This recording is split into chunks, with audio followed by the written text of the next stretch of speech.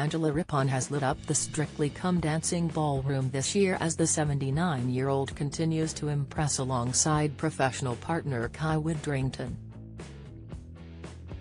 The two took to the iconic Blackpool ballroom floor last night as they performed the American Smooth on what is always a special night in the Strictly calendar. The rip-off Britain presenter will be hoping to avoid the dance-off after finding herself in the bottom two last week. However, according to bookmakers, Angela is the favourite to exit the BBC show this weekend.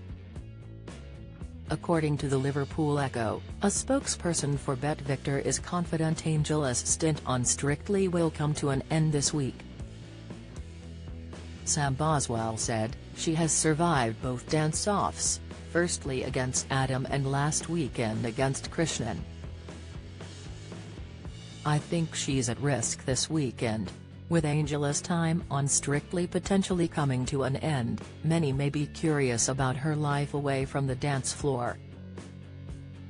The presenter started her career in 1966 at BBC Southwest and has been in the business ever since, hosting popular shows including Antiques Roadshow, Top Gear and the 1977 Eurovision Song Contest.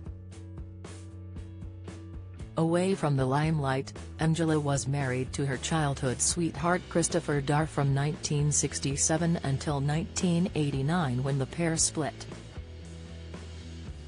The 79-year-old previously opened up about this period in her life during an interview with Modern and Mature. Aged 60 at the time, Angela told the publication, Hardly anybody, beyond my very close circle of friends, would know who my partners have been over the past several years. According to Mirror Online, Angela has since told Mail Online that she enjoys single life and doesn't harbor any wish to walk down the aisle again. She said in 2015, I've discovered I'm very happy being single. I suppose, if I'm honest. When your heart is broken it's painful and I don't want to go there again. Strictly Come Dancing continues every Saturday with the results show airing on Sunday on BBC One. Join the Daily Record WhatsApp community. Get the latest news sent straight to your messages by joining our WhatsApp community today. You'll receive daily updates on breaking news as well as the top headlines across Scotland no one will be able to see who is signed up and no one can send messages except the Daily Record team. All you have to do is click here if you're on mobile, select Join Community and you're in.